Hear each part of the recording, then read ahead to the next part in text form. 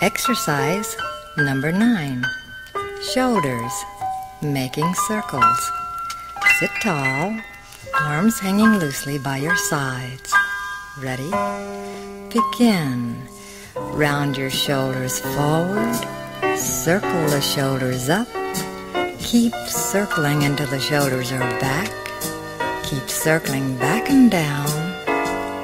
Now let's try it again.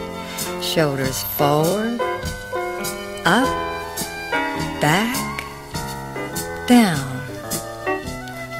Forward, up, back, down. And relax. Relax.